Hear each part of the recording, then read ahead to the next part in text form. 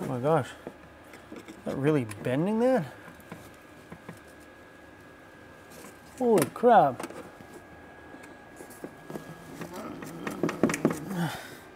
That's legit bending the amp. No way. Oh, I didn't expect that to happen.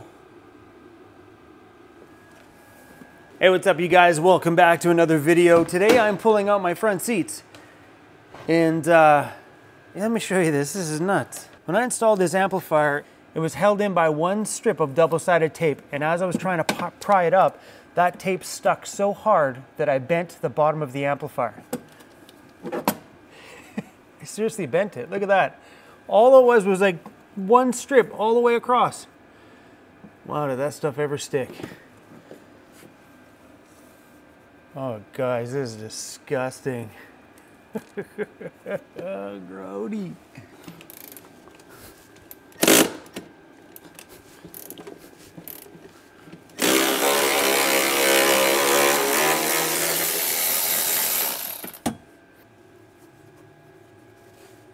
Oh, I made a big mistake. Oh, no. All right, let's get this out the door. So maybe a couple weeks or a month ago, I pulled up my driver's floor and noticed that there was water underneath it and it rusted.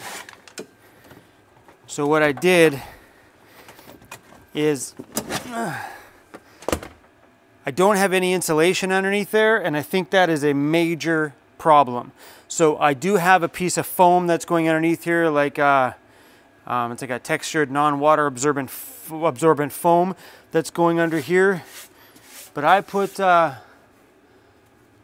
I put rust converter on here and a rust encapsulator, and it's already coming through.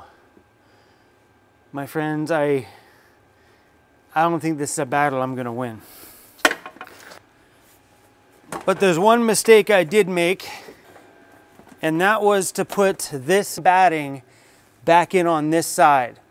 I don't know why I only did it on half the floor and not the whole floor. I think because that side was the one that I was on and this this uh, heat heat shielding or whatever you want to call this batting that comes with the factory floor um, is the reason why it rusted in the first place. Because this stuff that's underneath just about every factory floor uh, holds water. And then when it gets wet, it sits there between this floor and the actual uh, metal flooring and it just rots. It stays wet forever and just completely rots right out. And when I bought this new flooring, um, this piece was actually new uh, years and years ago. It came with this batting and I put the batting in on this side only.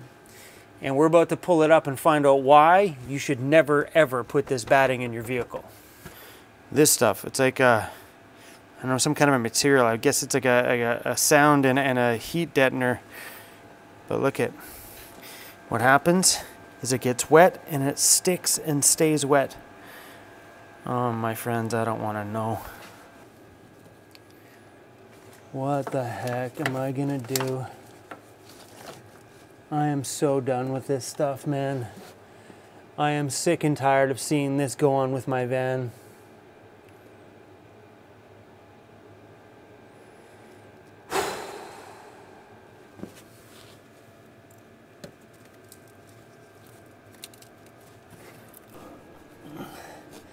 I sealed that stuff up from the bottom, man. I get, that's not going through down here. We put seam sealer over top of everything on the bottom side. That, uh, as best I could. Oh man. I've been fighting rust on this van since the very first day I bought it. This van has done me very well. It doesn't owe me anything. It doesn't. Because of this van, I've been five years without paying rent just to have a place to sleep and shower every night, all because of this thing. But this rust battle is starting to really, really take its toll. But there's a lot of things on this van on the rust side that's starting to give way. The guy got some, some body mounts that are really starting to rust from the bottom side and the front. Um, there's the two main body two body mounts, one in this corner and one in this corner. where they connect to the top inside there and they are rusted right out. Like I can stick my finger through there. Like here. I just pulled a piece off of it just now. What am I gonna do with this van, my friends?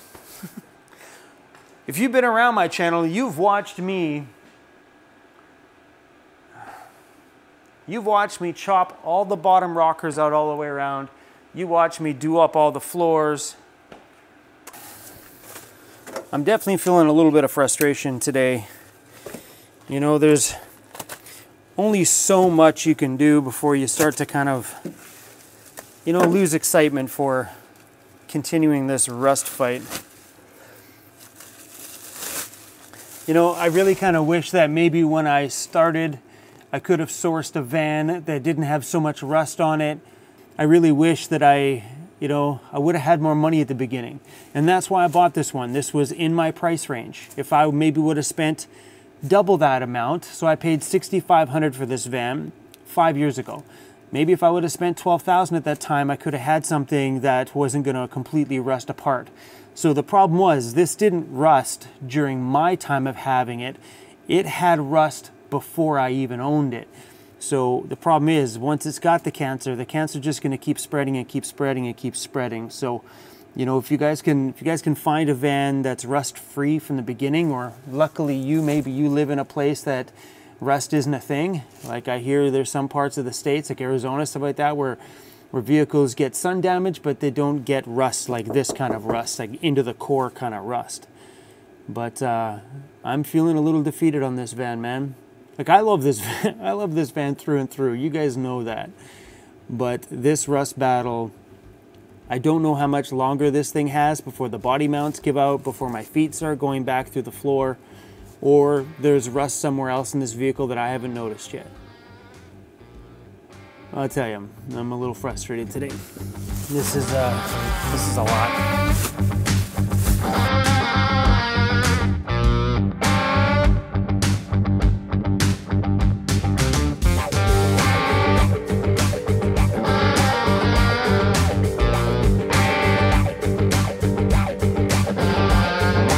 Look at this floor. Oh my gosh. I just thought for sure we were gonna sand out some, some rust and stuff like that and paint it, but that side fared a lot better than this side. So on that side, Sander, the subscriber of mine that, that did all the bodywork and welding in there, Sander cut a piece out of another vehicle and welded that whole piece in there. This one here, we did a little bit of patchwork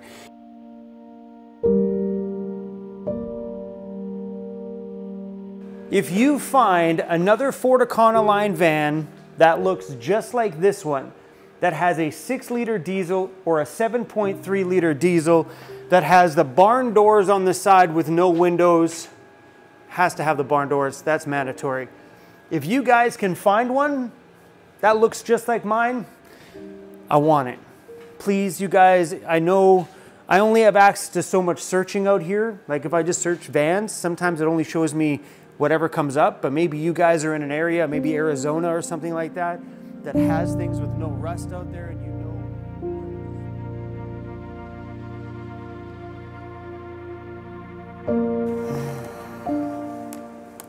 I have a lighter. You could go out in the back bush and have a nice big van fire.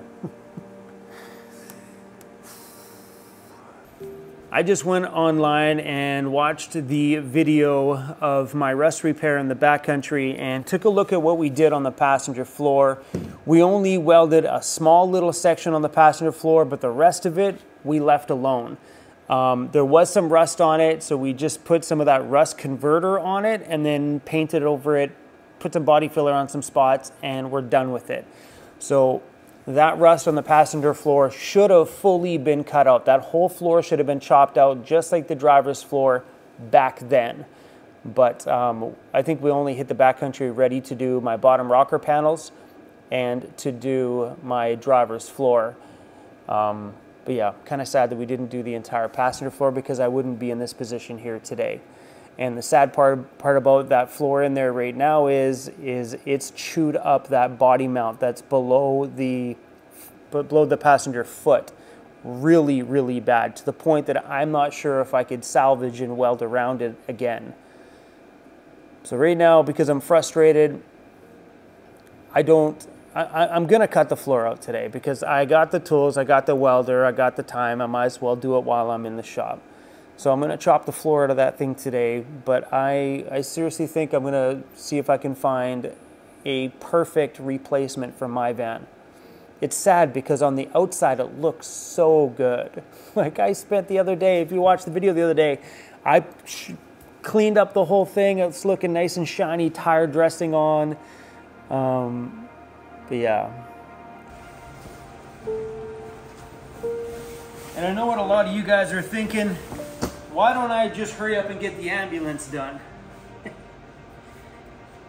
uh, the ambulance has a lot, a lot more time before that thing's ready to move into like probably another year or two. And to be honest, I never, I never intended to sell my van. I love the cargo van.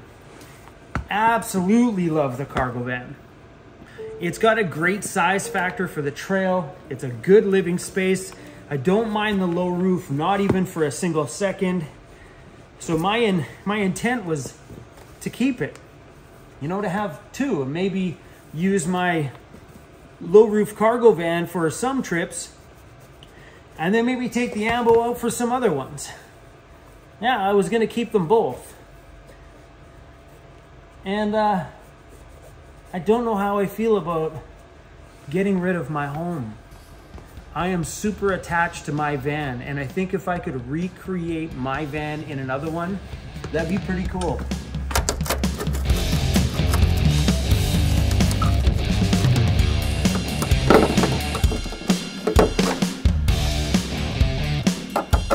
Ah, Look at the holes right through this thing. I am so done. So we're gonna have to cut this one pretty big. Probably gonna cut this one up here, down through, and then uh, I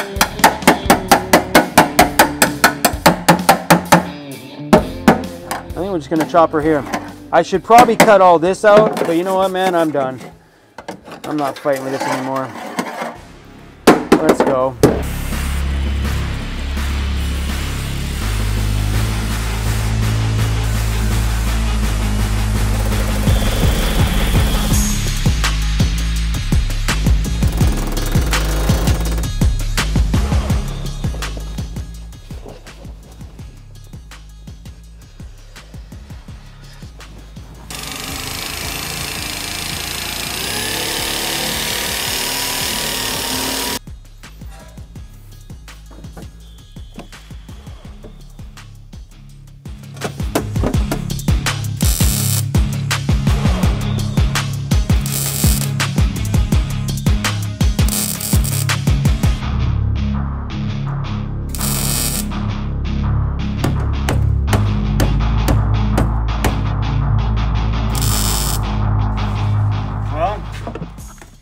So I've given up on this thing. So the body mount was unweldable too. You couldn't weld to the body mount whatsoever. So I did a tack weld on top of the body mount and then all the way up this side to hold the body to the plate that the body mount was on. Maybe this will buy up another, another couple years maybe.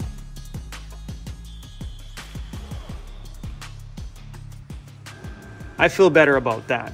I'm really sad that I couldn't salvage the body mount, but the body mount wasn't even attached to any of the metal on the floor. It was crumbling all the way around it.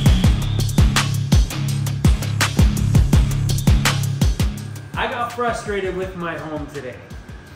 And it's not very often I get to that point where I'm like, I'm done with that van. I just want to get rid of it and move on. But deep inside of my heart, I will fix that thing until I can't fix it anymore. I love my home. It's given me everything that I have in my life right now, and it doesn't owe me anything. If anything, I owe my world to that van. So if something breaks, I will fix it. I will fix it until I can't drive it anymore. I will fix it until things start to break to the point that I just, it's not drivable anymore. As of right now, I'm gonna band-aid up those body mounts. I'm gonna band-aid up everything that I can to keep this van rolling just a little bit longer. Why? Because that's my home. I love my home. okay, guys, I gotta sleep in the shop tonight. Time is it now? I think it's about eight o'clock. That was a long day. Oh, what time is it? It's eight o'clock. That means, Cruzy, you gotta go pee. And then uh, I'm gonna curl up in the back of the van. So I'll see you guys in the shop tomorrow. Let's finish off that floor. And, uh, and maybe do something else kind of cool. I have a repair I need to do to my van and I've never done this before in my life, so this could be a fun experience. Come back tomorrow. You never know. Maybe I'll take care of something else really cool. Okay, guys, we're done. Let's